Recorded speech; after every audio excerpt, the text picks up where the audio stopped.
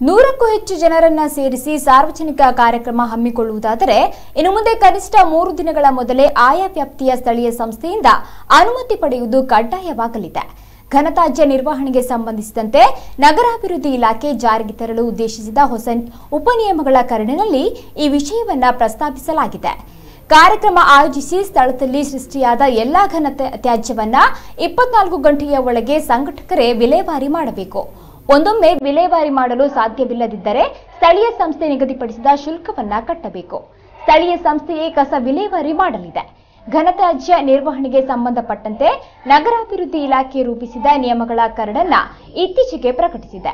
ಅದರಲ್ಲಿ ಸೂಚಿಸಿರುವ ಪ್ರಕಾರ ಕಾರ್ಯಕ್ರಮ ಸಂಘಟಕರು ಮೂರು ದಿನಗಳ ಮೊದಲು ಸ್ಥಳೀಯ ಸಂಸ್ಥೆಗೆ ಅರ್ಜಿಯನ್ನ ಸಲ್ಲಿಸಿ ಅನುಮತಿಯನ್ನ ಪಡೆಯಬೇಕು. ಕಾರ್ಯಕ್ರಮದ ಬಳಿಕ ಆ ಜಾಗದಲ್ಲಿ ಉಂಟಾಗುವ ಕಸವನ್ನ ಕಾರ್ಯಕ್ರಮ ಮುಗಿದ ಇಪ್ಪತ್ನಾಲ್ಕು ಗಂಟೆಯ ಒಳಗೆ ವಿಲೇವಾರಿ ಮಾಡಲು ಬದ್ಧ ಎಂದು ಲಿಖಿತವಾಗಿ ತಿಳಿಸಬೇಕು. ಅಲ್ಲದೆ ಸ್ವಚ್ಛತಾ ಠೇವಣಿಯನ್ನ ಕಟ್ಟಬೇಕು. ನಿಗದಿತ ಸಮಯದ ಒಳಗೆ ಕಸ ವಿಲೇವಾರಿ ಮಾಡಿದರೆ ಠೇವಣಿ ಮೊತ್ತವನ್ನ ಸ್ಥಳೀಯ ಸಂಸ್ಥೆಯು ಸಂಘಟಕರಿಗೆ ಹಿಂದಿರುಗಿಸಲಿದೆ ಅಧಿಕಾರಿಗಳು ಪರಿಶೀಲನೆ ವೇಳೆ ಜಾಗ ಸ್ವಚ್ಛ ಇಲ್ಲದಿದ್ದರೆ ಠೇವಣಿ ಮೊತ್ತ ಮುಟ್ಟುಗೋಲು ಹಾಕಿಕೊಳ್ಳಲಾಗುವುದು. ವಿಲೇವಾರಿ ಮಾಡಲು ಸಾಧ್ಯವಿಲ್ಲದಿದ್ದರೆ ಸ್ಥಳೀಯ ಸಂಸ್ಥೆ ನಿಗದಿಪಡಿಸಿದ ಶುಲ್ಕವನ್ನ ಕಟ್ಟಬೇಕು. ಸ್ಥಳೀಯ ಸಂಸ್ಥೆಯೇ ಕಸ ವಿಲೇವಾರಿ ಮಾಡಲಿದೆ. ಘನತ್ಯಾಜ್ಯ ನಿರ್ವಹಣೆಗೆ ಸಂಬಂಧಪಟ್ಟಂತೆ ನಗರಾಭಿವೃದ್ಧಿ ಇಲಾಖೆ ರೂಪಿಸಿದ ನಿಯಮಗಳ ಕರಡನ್ನ ಇತ್ತೀಚೆಗೆ ಪ್ರಕಟಿಸಿದೆ.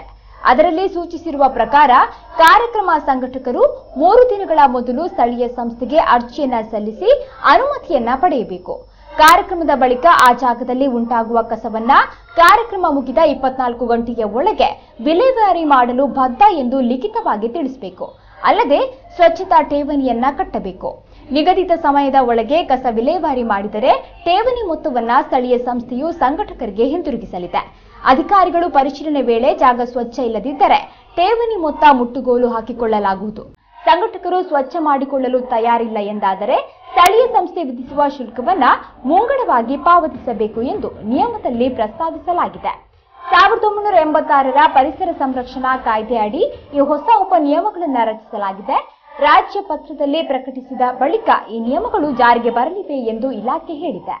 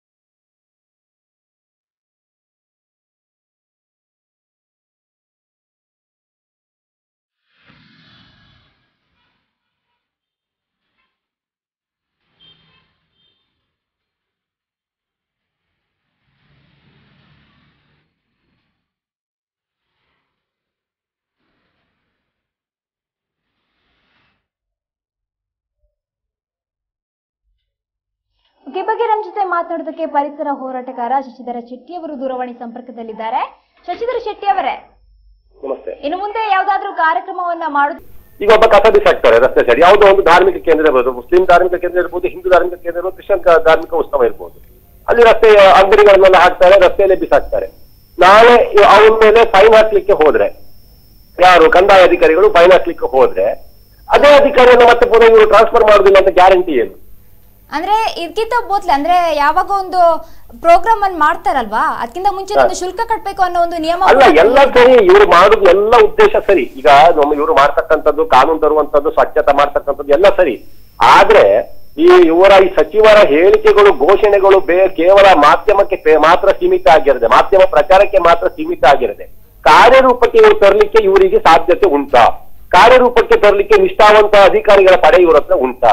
ನಿಷ್ಠಾವಂತ ಅಧಿಕಾರಿಗಳಿದ್ರು ಕಾರ್ಯರೂಪಕ್ಕೆ ಅವ್ರು ಹೋದಾಗ ಅವರಿಗೆ ಯಾವುದೇ ರೀತಿಯ ಒತ್ತಡ ತರದೆ ಅವರಿಗೆ ಟ್ರಾನ್ಸ್ಫರ್ ಮಾಡಿಸದೆ ಅಥವಾ ಅವರನ್ನ ಪ್ರೋತ್ಸಾಹಿಸ್ತಕ್ಕಂತ ಒಂದನ್ನು ಪ್ರೋತ್ಸಾಹಿಸ್ತೇನೆ ಅಂತಕ್ಕಂತ ಮಾತನ್ನ ಈಗ ಕಾಯ್ದೆಯನ್ನ ತರಲಿಕ್ಕೆ ಹೊರಟಂತವ್ರು ರೆಡಿ ಇದ್ದಾರೆ ಅಂತದ್ದು ಮೊದಲು ಮಾಡಿ. ಈಗ ನಮ್ಮ ತಮ್ಮಿ ನೋಡಿ ಹೊಸ ಈಗ ಹೊಸದಾಗಿ ಯಾವುದೇ ಕಾಯ್ದೆಗಳು ಬೇಡ. ಈಗ ಇರುವಂತ ಕಾಯ್ದೆಗಳೇ ಬೇಕಾದಷ್ಟಿವೆ ಪರಿಸರ ಸಂರಕ್ಷಣಾ ಕಾಯ್ದೆ ಮತ್ತೆ ಇದು ನಮ್ಮ ಪರಿಸರ ಇದ್ರದ್ದು ಯಾವುದು, ರಾಜ್ಯ ಸರ್ಕಾರದ ಪರಿಸರ ಸಂರಕ್ಷಣಾ ಕಾಯ್ದೆ ನೈನ್ಟೀನ್ ಏಯ್ಟಿ ಸಿಕ್ಸ್ ಅಲ್ಲಿ ಇದೆ. ಸೆಕ್ಷನ್ ಐದರ ಪ್ರಕಾರ ಮತ್ತೆ ಇದು ನಮ್ಮ ಅರಣ್ಯ ಪರಿಸರ ಮತ್ತು ಜೀವಶಾಸ್ತ್ರ ಸಚಿವಾಲಯದ ಅಧಿಸೂಚನೆ ಹದಿನೇಳರಲ್ಲಿ ಇದೆ. ಹಾಗೆ ನಮ್ಮ ಹೈಕೋರ್ಟ್ ಆದೇಶ ಮುಖ್ಯ ನ್ಯಾಯಮೂರ್ತಿ ಮೊನ್ನೆ ದಿನೇಶ್ ಮಹೇಶ್ ಅವರು ಹೇಳಿದ್ದಾರೆ. ಹಾಗೆ ನಾವು ಕೇಂದ್ರ ಪರಿಸರ ಇಲಾಖೆ gazette notification part two section three ಅಲ್ಲಿ ಸಬ್ ಸೆಕ್ಷನ್ ಟೂ ಅಲ್ಲಿ ಸ್ಪಷ್ಟವಾಗಿ ಹೇಳಿದೆ ಸೆಪ್ಟೆಂಬರ್ ನೈನ್ಟೀನ್ ನೈನ್ಟಿ ನೈನ್ ಅಲ್ಲಿ ಈ ಕಾನೂನುಗಳೇ ಇರುವಾಗ ಹೊಸದಾಗಿ ಹೊಸ ಇನ್ನೊಂದು ಇದ್ರ ಮಾಡಿ ಇನ್ನೊಂದು ಏನು ಪ್ರಚಾರ ತಕ್ಕೊಳ್ಳಿಕ್ಕೆ ಅಷ್ಟೇ ಇವತ್ತು ಸೀಮಿತ ಆಗ್ತದೆ ಬಿಟ್ರೆ. ನಾನು ನೇರವಾಗಿ ಹೇಳ್ತೇನೆ ಯಾರು ಈ ಕಾನೂನು ಕಾನೂನನ್ನ ಕಾಯ್ದೆ ತರಲಿಕ್ಕೆ ಹೊರಟಿದ್ದಾರೋ. ನೀವು ಕಾನೂನನ್ನ ತರುವುದಕ್ಕಿಂತ ಮೊದಲು ಕಾನೂನನ್ನ ಪಾಲನೆ ಮಾಡ್ಲಿಕ್ಕೆ ಹೊರಟಂತ ಅಧಿಕಾರಿಗಳಿಗೆ ಯಾವುದೇ ರೀತಿಯ ಒತ್ತಡ ತರದೆ ಅವರಿಗೆ ನಿರ್ಭೀತವಾಗಿ ಕೆಲಸ ಮಾಡ್ಲಿಕ್ಕೆ ನಿಮಗೆ ಅವಕಾಶ ಕೊಡ್ತೀರಾ? ಕೊಡುದಿದ್ರೆ ಆಯ್ತು ಇಂಥದೊಂದು ಕಾನೂನುಗಳನ್ನ ತನ್ನಿ. ಇಲ್ಲವಾದಲ್ಲಿ ಇವರ ಎಲ್ಲಾ ಕಾನೂನುಗಳು ಕೇವಲ ಮಾಧ್ಯಮದ ಎದುರು ಒಂದು ಪ್ರಚಾರಕ್ಕೆ ಹೊರತು ಮತ್ತೆ ಇವರಿಂದ ಏನು ಮಾಡ್ಲಿಕ್ಕೆ ಸಾಧ್ಯ ಇಲ್ಲ. ಯಾಕಂದ್ರೆ ಇವರು ಪ್ರತಿಯೊಬ್ಬರು ತಮ್ಮ ಜಾತಿ, ತಮ್ಮ ಪಕ್ಷ, ನಮ್ಮ ಅಂತೇಳಿ ಹೇಳಿ ಇನ್ನೊಂದು ಯಾವ್ದಾದ್ರು ಯಾರೊಬ್ಬ ಫೋನ್ ಮಾಡಿದಂತ ಅಧಿಕಾರಿಗಳ ವರ್ಗಾವಣೆ ಮಾಡ್ಲಿಕ್ಕೆ ಹೋಗ್ತಾರೆ ಇನ್ನು ಈ ಕಸ ವಿಲೇವಾರಿ ಬಗ್ಗೆ ಹೇಳುದಿದ್ರೆ ಈಗ ಇಷ್ಟು, ಪ್ರತಿ ತಿಂಗಳು ಎರಡೆರಡು ಕೋಟಿ ರೂಪಾಯಿ ಆಂಟನಿ ವೆಸ್ಟರ್ ಇವರು ಕೊಡ್ತಾ ಇದ್ದಾರೆ. ಇವರ ಇವರ ಹೇಳ್ತಾರೆ, ನಿಮ್ಮ ಕಸವನ್ನ ವಿಂಗಡಣೆ ವಿಂಗಡಣೆ ಮಾಡಿಕೊಡಿ ಯಾವುದು ಡ್ರೈ ಕಸ ಬೇರೆ ಮಾಡಿಕೊಡಿ ಹಸಿ ಕಸ ಬೇರೆ ಮಾಡಿಕೊಡಿ ನ ಚೂರು ಕುಪ್ಪಿಗಳನ್ನು ಬೇರೆ ಮಾಡಿಕೊಡಿ ಅಂತ. ಸರಿ ಮನೆಯಲ್ಲಿ ಬೇರೆ ಮಾಡಿ ಕೊಡ್ತಾರೆ. ಹೋಗ್ಲಿಕ್ಕೆ ಇವರ ಗಾಡಿಯಲ್ಲಿ ಮೂರು ಮೂರು ಬೇರೆ ಡಿವಿಷನ್ ಇದೆಯಾ? ಎಲ್ಲ ಒಟ್ಟಿಗೆ ಹಾಕಿ ತಗೊಂಡು ಹೋಗ್ತಾರೆ.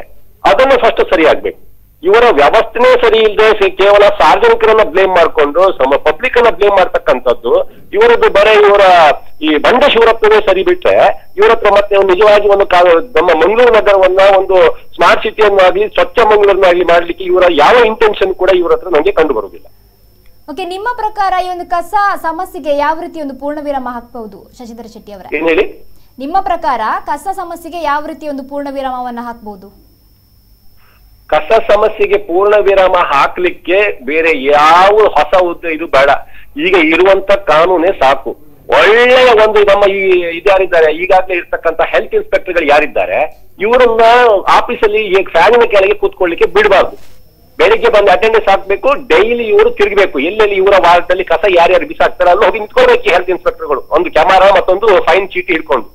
ಅಲ್ಲಿ ಎಷ್ಟೆಷ್ಟು ಟ್ರಾಫಿಕ್ ಪೊಲೀಸ್ನವರಿಗೆ ಮತ್ತೆ ಈ ಪೊಲೀಸ್ನವರಿಗೆ ಎಷ್ಟೆಷ್ಟು ಕೇಸ್ ತಿಂಗಳಿಗೆ ಇಷ್ಟಿಷ್ಟು ಹಾಕೊಂಡು ಬರ್ಬೇಕಂತ ಹೇಳಿ ಹೈಯರ್ ಆಫೀಸರ್ಗಳದ್ದು ಆರ್ಡರ್ ಇರ್ತದೆ. ಅದೇ ರೀತಿ ಇವ್ರಿಗೆ ಒಂದು ಟಾರ್ಗೆಟ್ ಕೊಡ್ಲಿ.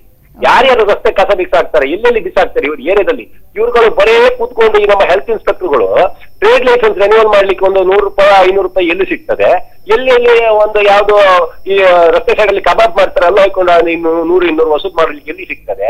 ಇದನ್ನೇ ನೋಡ್ಕೊಂಡು ಕೂತ್ಕೊಳ್ತಾರೆ ಬಿಟ್ರೆ ಇವರ ಯೋಗ್ಯತೆಗೆ ಒಂದು ಮಂಗ್ಳು ಸರ್ಕಾರ ಇವರಿಗೆ ಕೊಡ್ತಕ್ಕಂತ ಸಂಬಳಕ್ಕೆ ಸರಿಯಾಗಿ ಕೆಲಸ ಮಾಡುವಂತವ್ರ ಹಣೆ ಬರದಲ್ಲಿ. ಬರ್ದಿಲ್ಲ ಮೊದಲು ಇದನ್ನ ಮಾಡ್ಬೇಕು ಅವರವರ ಅಧಿಕಾರಿಗಳು ಯಾರು ಕೆಲಸ ಮಾಡ್ಲಿ ಕೆಲಸ ಮಾಡ್ಲಿ. ಅಧಿಕಾರಿಗಳಿಂದ ಕರೆಕ್ಟ್ ಆಗಿ ಕಾನೂನು ಪ್ರಕಾರ ಕೆಲಸ ಮಾಡಿ ತನ್ನಿಂತಾನೇ ಮಂಗಳೂರು ಸ್ವಚ್ಛ ಆಗ್ತದೆ.